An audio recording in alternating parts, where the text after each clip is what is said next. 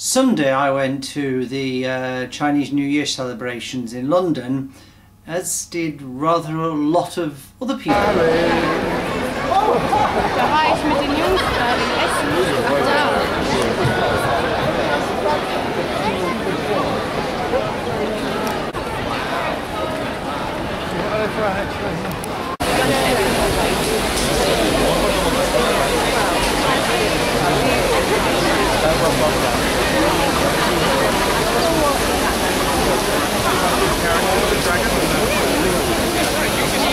Uh, the celebration started with uh, firecrackers.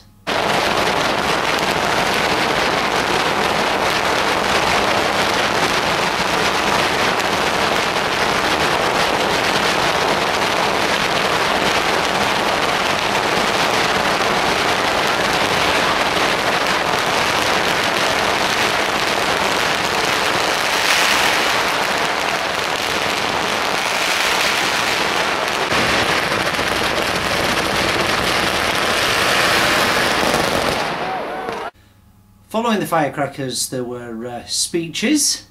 We want to build on China's example and host a great Olympic Games, a great Olympic and Paralympic Games this summer. And it may be, Mr. Ambassador, that we can't afford to spend quite as much on fireworks as you did in Beijing in 2008 when your display consumed approximately the budget of our defense department.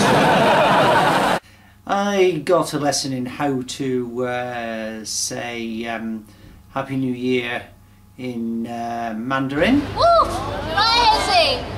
Okay, one, two, three! Long Okay.